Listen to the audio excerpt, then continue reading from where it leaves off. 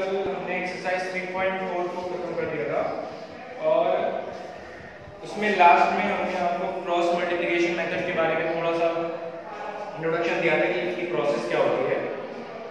आज हम एक्सरसाइज 3.5 को पढ़ेंगे, जिसमें जो क्वेश्चंस हैं which are based on cross multiplication method तो कल हमने एक रफ एक आपको आइडिया दिया था कि क्रॉस मल्टीप्लिकेशन मेथड होता क्या है, उसके सॉल्व उसके सॉल्विंग का प्रोसेस क्या है।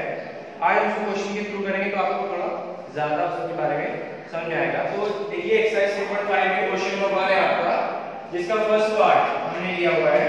फ़र्स्ट पार्ट अगर आप देखिए तो क्वेश्चन है, x 3y 3 0 ये, और दूसरी इक्वेशन है 3x 9y 2 0 इसको आपको क्वेश्चन अगर आप ध्यान से पढ़ें तो इसमें लिखा हुआ है which of the following pairs of linear equation has unique solution no solution infinite many solution तो मतलब अब देखिए ये जो चीज़ है ये स्टार्टिंग में यूनिक सॉल्यूशन नो सॉल्यूशन और इनफाइनाइट मेनी सॉल्यूशन इसके बारे में स्टार्टिंग में मैं आपको एक, एक नोट्स में सेंड किया था कि ये आप कैसे पता करेंगे कि जो आपको सिस्टम ऑफ़ लाइंस दी हुई है उनका सॉल्यूशन नो सॉल्यूशन है या यूनिक सॉल्यूशन है या फिर इनफाइनाइट मेनी सॉल्यूशन है। तो अगर आपको ध्यान हो उस बारे में तो आप इसको आसानी से समझ पाएँगे। फ़िलहाल इसका एक कोई रिवाइंड करते हैं हम कि अगर दो सिस्टम ऑफ़ लाइन अगर पेयर ऑफ़ लाइन आपके पास है तो उसका सॉल्यूशन यूनिक सॉल्यूशन कब होगा?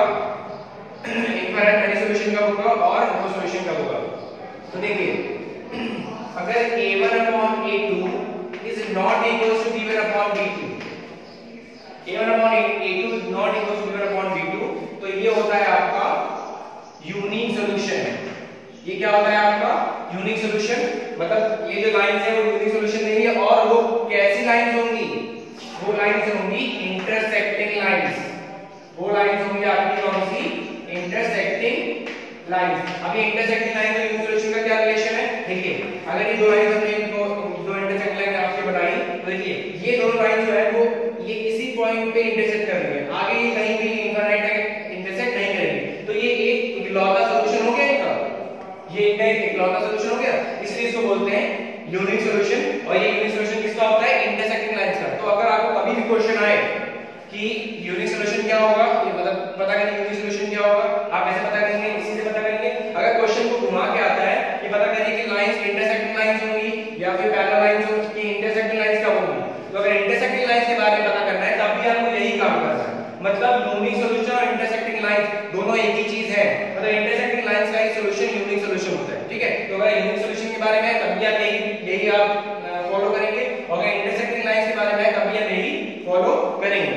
उसके बाद बात आती है कि दूसरा सॉल्यूशन आपका इनफाइनाइट मेनी सॉल्यूशन तो अगर a1 a2 b1 b2 c1 c2 दे रखा है। If a1 upon a2 is equals to b1 upon b2 is equals to c1 upon c2 दे रखा है। अगर ये रिलेशन फॉलो हो रहा है तो लाइंस क्या होंगी क्या होंगी आपकी infinite many solution infinite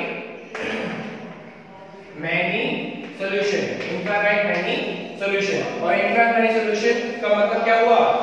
जैसे एक लाइन है तो इसके सॉल्यूशन के लिए मान हो गए तीन सॉल्यूशन हो गए तो इसी के ऊपर एक दूसरी लाइन होगी मतलब कोइंसिडेंट लाइन तो इनफाइनाइट सॉल्यूशन किसका होगा? कोइंसिडेंट लाइंस का. कोइंसिडेंट लाइंस क्योंकि जो लाइन कोइंसिडेंट होगी, उन्हीं का सॉल्यूशन तो कॉमन होगा. मतलब जो जो सॉल्यूशन पहली वाली लाइन का, वही सॉल्यूशन किसका? दूसरी वाली लाइन का. तो अगर बात आती है कि सॉल्यूशन कैसे आप क्या उसका कंडीशन होगी? तो अगर a1 1 a2 2 b1 b2 c1 c2 अगर फॉलो कर अगर हो रहा है तो सॉल्यूशन का होगा। और अगर कोइंसिडेंट के बारे में पूछा जाए कोइंसिडेंट लाइन के बारे में, तब भी आपको यही चीज़ करनी है क्लियर है? उसके बाद जो, उसके बाद जो लास्ट है कि a1 upon a2 is equals to b1 upon b2 is not equals to c1 upon c2 clear है तो इसका अगर ये फॉर्म होता है, इसका मतलब होता है नो सॉल्यूशन और नो सॉल्यूशन का मतलब होता है पैरेलल लाइंस नो सॉल्यूशन का मतलब होता है पैरेलल लाइन क्योंकि अब पैरेलल लाइन क्यों होगा, क्योंकि पैरेलल लाइन कभी इंटरसेक्ट करती नहीं और जो लाइन इंटरसेक्ट नहीं करेंगे, उनका सॉल्यूशन नहीं होगा. तो अगर नो सॉल्यूशन के बारे में पूछा जाता है तो आपका ये रिलेशन फॉलो होना चाहिए और अगर पैरेलल लाइंस के बारे में पता आपको पूछा जाता है तब भी यही रिलेशन क्या होगा फॉलो होना चाहिए तो ये दोनों एक ही चीज़ है no solution is parallel lines clear है तो ये तीन सॉल्यूशन तीन तरीके के सॉल्यूशन है ये नेचर का सॉल्यूशन होता है अब जैसे हम पहले क्वेश्चन पे आते हैं कि आपको ये पेयर ऑफ़ इसमें आपको पता करना है कि इनका सॉल्यूशन कैसा होगा नो सॉल्यूशन होगा कि इनफाइनाइट मेनी सॉल्यूशन होगा या फिर आ, आ, या फिर आपका यूनिक सॉल्यूशन होगा तो देखिए ये क्वेश्चन है कि आपको हाँ जब ऐसा क्वेश्चन करेंगे तो आप ध्यान रखिए कि राइट हैंड साइड में ज़ीरो होना चाहिए तो अगर आपको कांस्टेंट राइट हैंड साइड में तो आप उसको काट के जाएँगे अब यहाँ पे आपको करना नहीं है क्वेश्चन इसी फॉर्म में दे रखा है तो हम जाते हैं लिखेंगे आफ्टर कंपेयरिंग आफ्टर कंपेयरिंग अगर इसको कंपेयर करें, देखिए, पहले टाइम्स में a1 b1 c1 मिलेंगे तो देखिए a1 कितना हो जाएगा? A1 कितना है यहाँ पे? X का कोएफिशिएंट कितना है? 1 है। तो a1 कितना हो जाएगा? B1 क्या हो जाएगा? -3 -3 है क्वेश्चन में ध्यान से देखिएगा। कोएफिशिएंट का साइन बहुत ज़रूरी होता है। अगर आपने -3 को +3 कर दिया तो वहीं पे क्वेश्चन आपको क्या हो गया गलत उसके बाद अगर हम c1 की बात करें तो c1 कितना हो जाएगा? -3 c1 इज़ आल्सो -3 उसके बाद अगर a2 की बात करें तो a2 कितना दे रखा है? 3 b2 कितना दे रखा है? -9 और c2 कितना दे रखा है? -2 क्लियर है? अब देखिए a1 b1 c1 a2 b2 c2 हमें मिल गया। क्लियर है? अब हम यहाँ पे देखते हैं कि हम a1 अपॉन a2 कर लेते हैं। A1 upon a1 upon a2 करेंगे तो a1 कितना है 1 और a2 कितना है 3 तो a1 अपॉन a2 करेंगे 1 बाय 3 आ गई। इसके बाद हम b1 अपॉन b2 कर लेते हैं। तो b1 कितना है? -3 और b2 कितना है? माइनस का 9 इसको भी अगर सॉल्व करेंगे तो ये 1/3 आ जाएगा। क्लियर है? उसके बाद अगर हम हम c1 अपॉन c2 कर लेते हैं। तो c1 अपॉन c2 देखिए यहाँ लिखा हुआ है -3 अपॉन -2 ये कट के यहाँ कितना आ जाएगा 3 बाय 2 अब आप देखिए a1 अपॉन a2 1 बाय 3 आया b1 अपॉन b2 1 बाय 3 आया और c1 अपॉन c2 3 बाय 2 आ गया तो देखिए a1 upon a2 b1 upon b2 के तो इक्वल दे रखा है लेकिन c1 अपॉन c2 के इक्वल नहीं है क्लियर है a1 अपॉन a2 और b1 अपॉन b2 तो इक्वल है लेकिन c1 अपॉन c2 के इक्वल नहीं है अब ये इक्वल नहीं है तो ये कौन सी लाइंस की ये कौन से सॉल्यूशन को डिनोट करता है ये नो सॉल्यूशन को डिनोट करता है कि a1 upon a2 is equal to b1 upon b2 and it is not equal to c1 upon c2 hence it is no solution तो लिखेंगे hence the lines have no solution यहाँ पे last लिखेंगे hence lines have no solution. ये हो गया। आपको cross multiplication method apply तभी करना है जब यूनिक सॉल्यूशन आएगा आपको क्रॉस मल्टीप्लिकेशन मेथड तभी अप्लाई करना है जब आपका सॉल्यूशन यूनिक सॉल्यूशन आएगा। ना ही डिफरेंट मेथड पे आपको अप्लाई करना है, ना ही नो सॉल्यूशन पे अप्लाई करना है? क्लियर तो आपका ये क्वेश्चन यहाँ पे खत्म हो गया। क्लियर है यहाँ पे? ठीक? तो ये पहला क्वेश्चन हो। ये बस पे, यहाँ पे खत्म हो गया। इसके बाद हम नेक्स्ट क्वेश्चन पे मूव करेंगे। इसी का एक पार्ट देखते हैं। दूसरा। इसमें हम देखते हैं फोर्थ पार्ट क्वेश्चन वन का fourth part question number one इसका फोर्थ पार्ट क्वेश्चन वन में फोर्थ पार्ट में हम देखें तो इक्वेशन दे रखी है आपकी x minus three y minus seven equal to zero इधर रखा है आपका? और दूसरी इक्वेशन में लिखी है three x minus three y minus fifteen is equal to zero ये दो इक्वेशन आपको दे रखी है, आपको वही काम इसमें करना है कि आपको पता करना है कि कौन सा सॉल्यूशन होंगे। अगर एक सॉल्यूशन आ जाता है तो आपको फिर उसका सॉल्यूशन फाइंड करना है by the help of cross multiplication method तो इसको सॉल्व करेंगे, वही काम हम करेंगे आफ्टर कंपेयरिंग पूरा प्रोसेस वही है आफ्टर कंपेयरिंग कंपेयर करने पे हमें a1 कितना मिलेगा a1 अगर आप देख रहे हैं तो 1 होगा b1 कितना होगा माइनस का 3 होगा c1 कितना होगा माइनस का 7 हो जाएगा। क्लियर a2 कितना हो जाएगा? A2 आपका 3 हो जाएगा। B2 कितना हो जाएगा? B2 आपका माइनस का 3 हो जाएगा। और c2 कितना हो जाएगा? आपका माइनस का 15 हो जाएगा। क्लियर है? तो ये हो गया फिर हम क्या निकालेंगे a1 अपॉन a2 निकालते हैं। A1 अपॉन a2 देखिए 1 बाय 3 आ गया। क्लियर b1 अपॉन b2 निकालते हैं। B1 अपॉन b2 ये कितना हो जाएगा? Minus three upon minus three तो इसको माइनस कर देगा और 3 से 3 के जगह तो 1 आ जाएगा। यहाँ 1 अपॉन 1 आ जाएगा। क्लियर है? ये 1 अपॉन 1 है। ठीक है? और अब देखिए, आगे c1 अपॉन c2 निकाल दीजिए, कोई दिक्कत नहीं है इसमें। C1 अपॉन c2 निकालेंगे तो माइनस 17 माइनस 7 अपॉन 15 आएगा। तो ये आपका 7 अपॉन 15 आ जाएगा माइनस माइनस कट जाएगा। क्लियर है कोई चीज़? अब, अगर हम चेक करें, देखिए a1 अपॉन a2 आपको मिल गया b1 अपॉन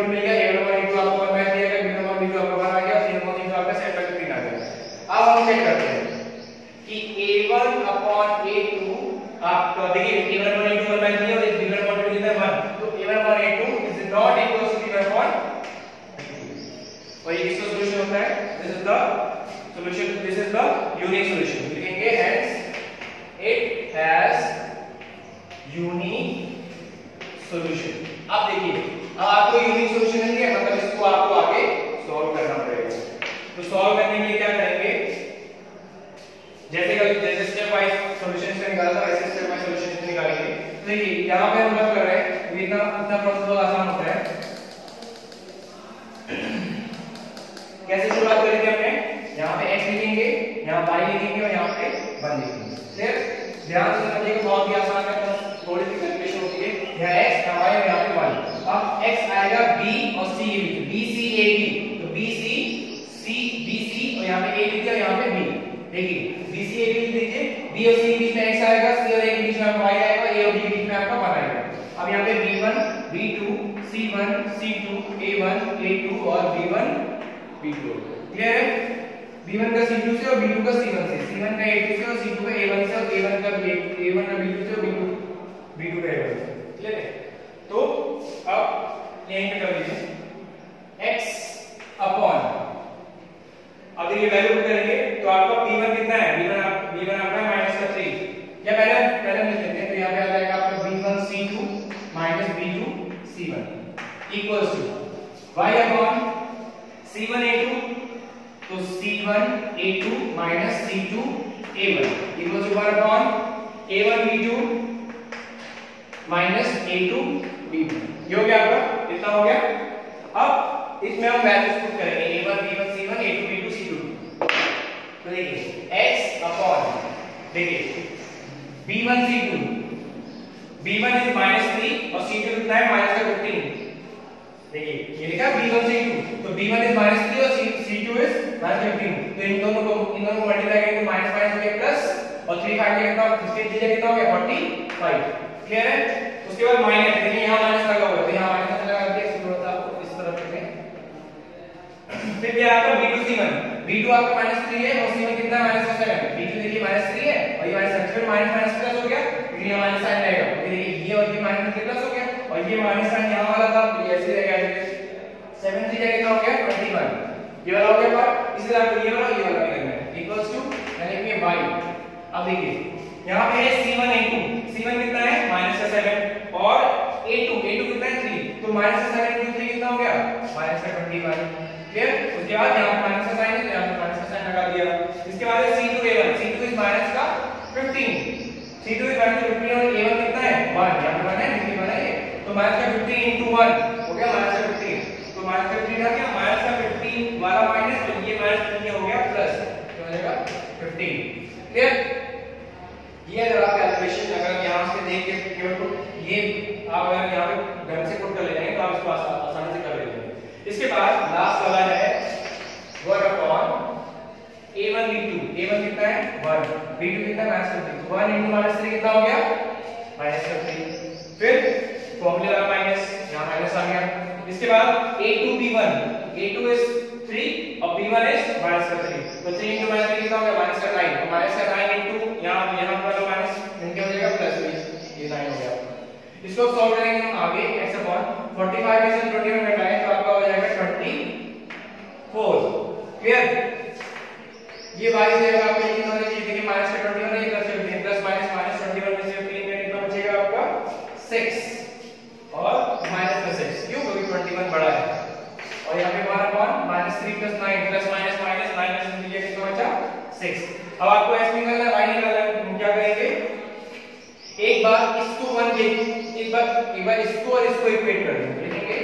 से hence x upon 24 is equal to 1 by 6 cross multiply कर दीजिए, या सीधे 24 को भेज दीजिए x वैल्यू कितना आएगा 24 अपॉन 6 यानी ये आएगा आपका 4 तो x वैल्यू कितनी आ गई 4 आ गई। क्लियर एक बार इसको इसके ऊपर पुट कर दिए तो y upon -6 is equal to 1 upon 6 ये आप माइनस के अंदर भेज दिए तो y क्वेश्चन आपका हो जाएगा -6 अपॉन 6 तो यहाँ पे आपकी वैल्यू हो जाएगी -7 तो x की वैल्यू आपकी आ गई 4 और y की वैल्यू आपकी आ गई -7 so this is the required solution ये आपका सॉल्यूशन हो गया. तो यहाँ पे हम क्या करेंगे? x is equals to 4 and y is equals to -1 ये आपका सॉल्यूशन हो गया. क्लियर है? प्रोसेस आसान है, लेकिन थोड़ा बहुत यहाँ पे आपको आइडिया करती है कि अगर जरा सी भी सावधानी इसमें हटती है तो फिर क्वेश्चन आपका पूरा गलत हो जाता है यहीं से। आप ऊपर पार्ट जाएँगे लेकिन उसके बाद वाला पार्ट आपका पूरा का पूरा क्या हो जाएगा? गलत जाएगा। अगर आपने जरा सी भी माइनस वन की माइनस की मिस्टेक कर दी माइनस प्लस की तो आप उस क्वेश्चन को भी सही नहीं कर पाएँगे आपका आंसर सही नहीं आएगा इसके बाद, अगर हम आगे चले क्वेश्चन नंबर 2 के फ़र्स्ट पार्ट में चलते हैं। क्वेश्चन टू का फ़र्स्ट पार्ट लिखिए गया for which value of a and b?